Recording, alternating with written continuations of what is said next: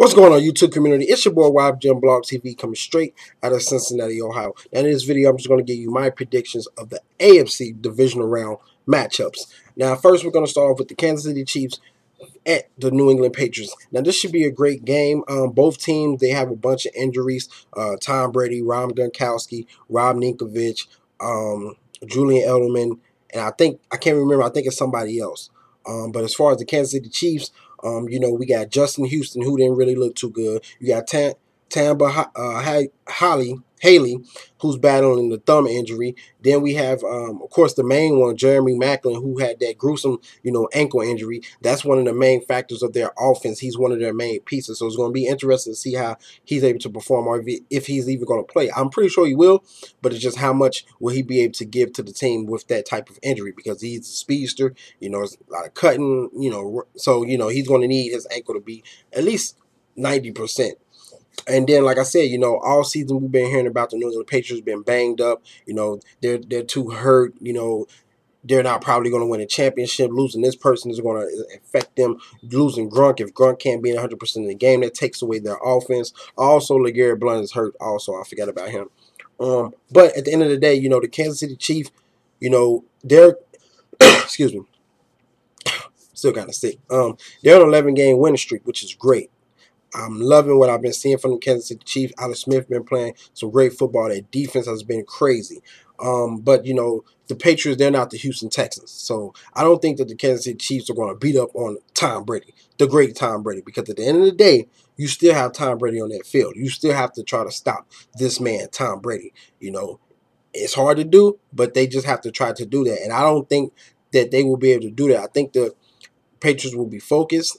I think pretty much the Patriots might be looking like the underdogs right now, to be honest with you, because of the, all the injuries and the way the um, Kansas City Chiefs has been playing. So it's going to be interesting to see how they perform against Tom Brady.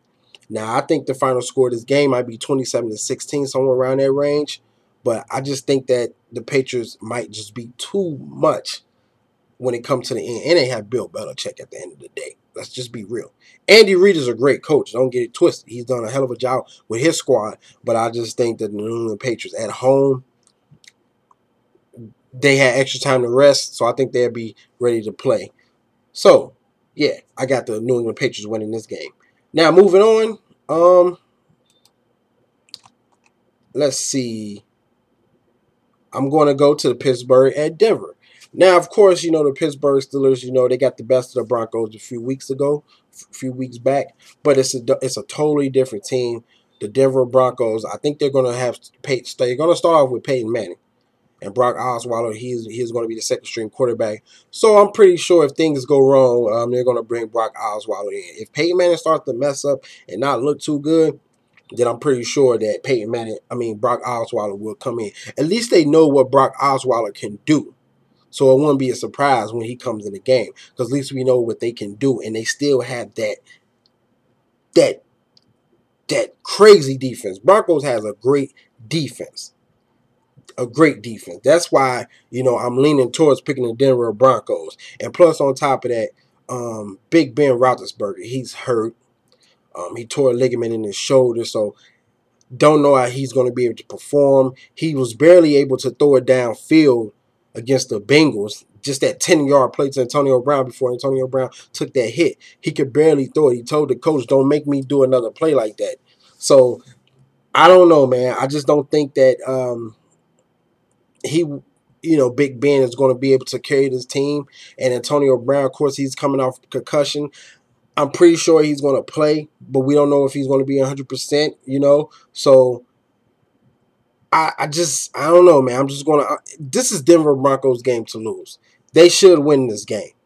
Steelers defense looked nice against the Bengals. Looked nice, but you know, Broncos defense is great. They're gonna come at Big Ben Roethlisberger, especially since they know he's you know he's banged up. So they're gonna try to bang him up. They're gonna try to hit him, put a lot of pressure on him.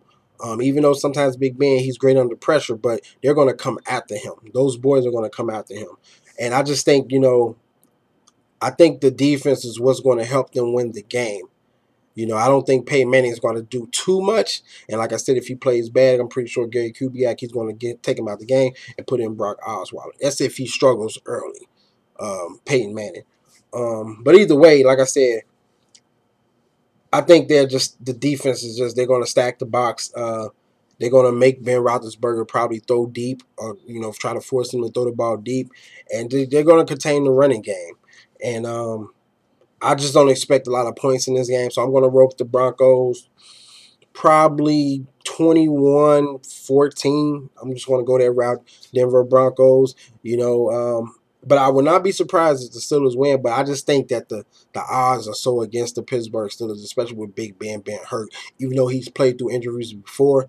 But man, I don't know if he is going to be able to do it this time. And I'm just thinking about that Broncos defense and all they got to do is add a little bit of offense in there, and they should be able to get the job done. So, guys, those are my AFC divisional round picks. You guys tell me who you have winning these winning these two games, and I'm going to make my NFC divisional round picks. Make sure you comment, subscribe, share, do all that good stuff. Hit me up on Twitter, Facebook, Instagram, all those social media sites, and I'm out. Deuces.